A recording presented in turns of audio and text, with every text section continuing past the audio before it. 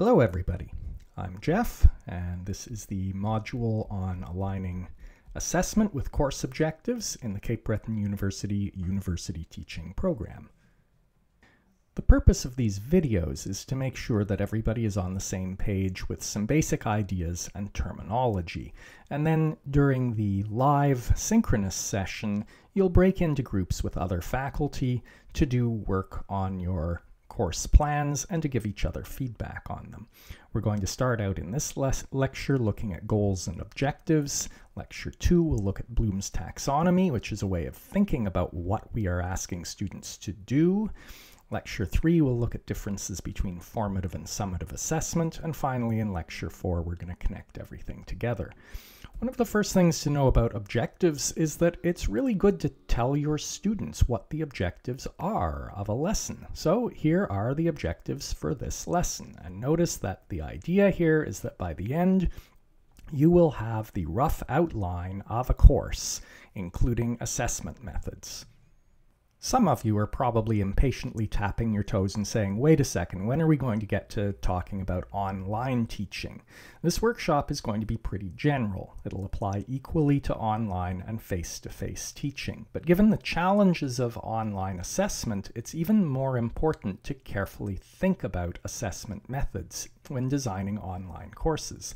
So these overall ideas of course design are an important first step. The plan for your course that you have out of this workshop will be rough, and in the coming weeks, as you learn more about online teaching, you'll need to refine it. In everyday speech, we tend to use the words goals and objectives to mean more or less the same thing.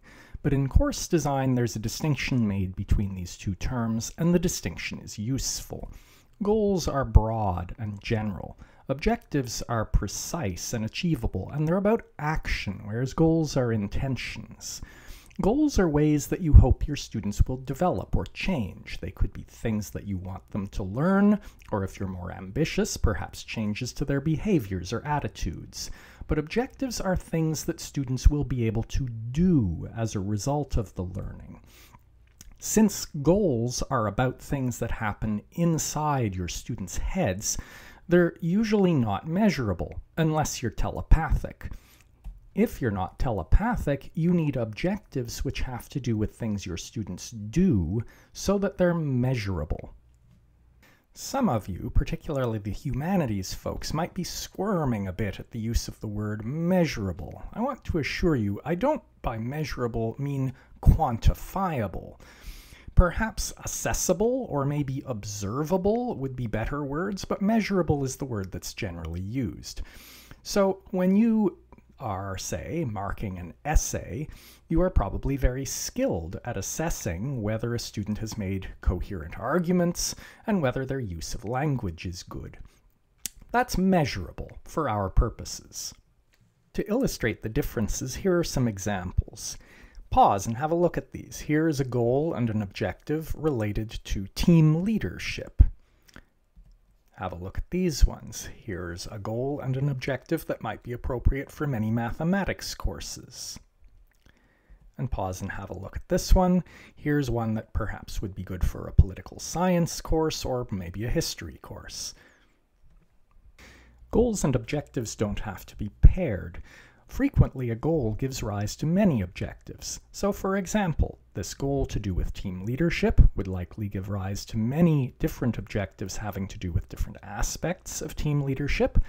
And the broad general statement about students writing mathematical proofs can break up into many different objectives, which perhaps would be relevant in subtopics within a course. It's also possible for an objective to simultaneously be connected to multiple goals, though that's rarer and more difficult. Notice that in all the examples I just gave, the goals started with students will learn. Remember, unless you're telepathic, you have no way of actually knowing what your students have learned directly. You need, for an objective, to set a goal of them taking some observable action. Not all goals start with students will learn, but many do. But for an objective, you need things like students will state, students will calculate, students will debate, students will critique. Those are all good starts for objectives. If you are watching this video via a lesson on Moodle, the video will end and you'll then click on to the next page in the lesson, which is going to ask you a question, just to make sure that you're following along.